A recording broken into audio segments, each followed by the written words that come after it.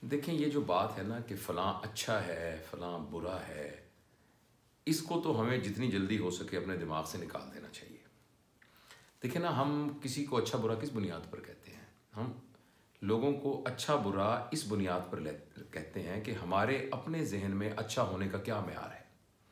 اور ہمارے ذہن میں جو اچھا ہونے کا معیار ہے، اس کا دار و مدار اس بات پر ہے کہ ہماری ٹریننگ کیا ہے، ہماری تربیت کیا ہے ہمارے اپنے انر پیراڈائمز کیا ہیں اور ہمارے نظریات کیا ہیں اور ہماری ریلیجس ٹیچنگ کیا ہے اور کیا ہماری علاقائی وابستگی ہے، تو ان تمام چیزوں اور ہمارے ایتھکس اور موریلٹی کے کیا معیار معیار ہیں؟ تو اس کی بنیاد پر ہم اپنے ذہن میں لوگوں کو اچھا یا برا لیبل کرنا شروع کر دیتے ہیں۔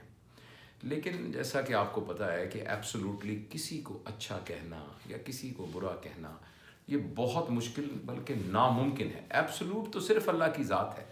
اس دنیا میں تو باقی تمام چیزیں ریلیٹیو ہیں۔ دیکھیے نا جو خوبصورت ہے، وہ کیا ہوتا ہے؟ خوبصورت وہ ہوتا ہے جو کم بدصورت ہوتا ہے۔ اسی طریقے سے بدصورت کیا ہوتا ہے جو کم خوبصورت ہوتا ہے؟ لیکن جو بہت خوبصورت ہوگا، کوئی اس سے بھی تو خوبصورت ہوگا۔ تو اس کے مقابلے میں وہ کیا ہوگا؟ بدصورت ہوگا۔ تو اس لیے جو ہماری زندگی ہے اور ہمارا کنڈکٹ ہے نا وہ ایسے آسلیٹ کرتا رہتا ہے، ایسے تھر تھراتا رہتا ہے جو اب اچھائی اور برائی کے اس کے درمیان میں۔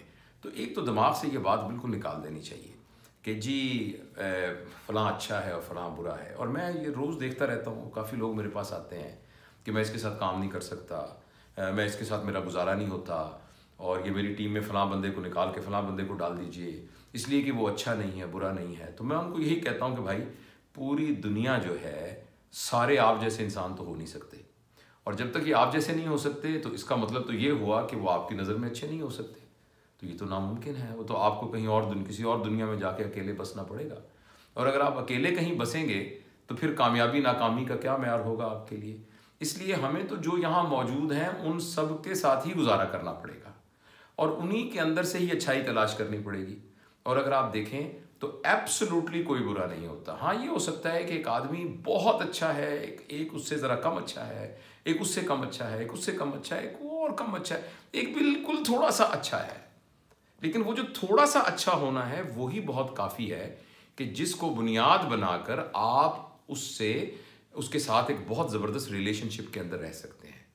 تو جب تک ہمیں یہ بات سمجھ میں نہیں آئے گی، ہمیں ہمیشہ اپنے ورک پلیس میں، اپنے گھر میں اپنے ریلیشنز کے اندر ایک لڑائی، جھگڑا اور ایک تنازع کی کیفیت میں رہیں گے۔ اور جس کی وجہ سے ہمارے اندر ان پلیزنٹنیس کریٹ ہوتی رہے گی۔ میں نے ایک جگہ پر کسی بڑے آدمی کو کہتے ہوئے سنا کہ لوگ اچھے برے نہیں ہوتے۔ لوگ پلیزنٹ ہوتے ہیں اور مزریبل ہوتے ہیں، بس۔ تو، اور دوسری بات یہ ہے کہ ان کے پلیزنٹ ہونے اور مزریبل ہونے کا آپ سے کیا تعلق ہے؟ آپ کا ریئیکشن تو آپ کے اوپر ڈپینڈنٹ ڈپینڈنٹ ہے۔ اس کا انحصار تو آپ کے اوپر ہے کہ آپ کیا ہیں۔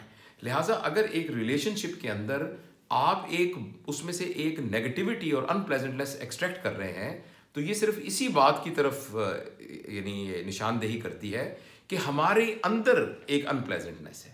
تو بنیادی طور پر اگر ہمارے اندر پلیزنٹنیس ہوگی، تو چاہے سامنے والا جیسا بھی ہوگا، ہم اس میں سے پلیزنٹنیس ہی ایکسٹریکٹ کریں گے۔ اور سام اور ہمارے اندر اگر فرض کریں ایک فساد ہے، اور ہم ہم اندر سے ان پلیزنٹ ہیں، اور ہمارے اندر اپنی ایک کوئی انزائٹیز ہیں تو سامنے والا جو کچھ بھی ہوگا، ہم اس کے اندر سے ہمیشہ اور ہمیشہ ان پلیزنٹنیس ہی ایکسٹریکٹ کریں گے۔ تو اس لیے میں یہ سمجھتا ہوں کہ آپ اور میں اس بحث میں نہ پڑھیں اور اس کے لیے ایک بڑی زبردست ٹرم جو ہے وہ یوز کی جاتی ہے نان ججمنٹل جو بھی ہمیں ملے، ہم اس کے بارے میں جج نہ کریں۔ ہم کون ہوتے ہیں جج کرنے والے؟ اور ہمیں کیا پتا کہ ہم کس رنگ کی اینک لگا کے اس کو دیکھ رہے ہیں اور اس کی بنیاد پر ہمیں اس کا رنگ کیسا نظر آ رہا ہے۔ تو اس لیے ہمیں بالکل جج کرنے والے چکر سے تو بالکل نکل جانا چاہیے۔ لوگ اچھے ہیں، برے ہیں، ایسا نہیں ہے۔ بس لوگ ہیں۔ بس ان کے ہونے کو ہی دیکھنا چاہیے۔ شکریہ۔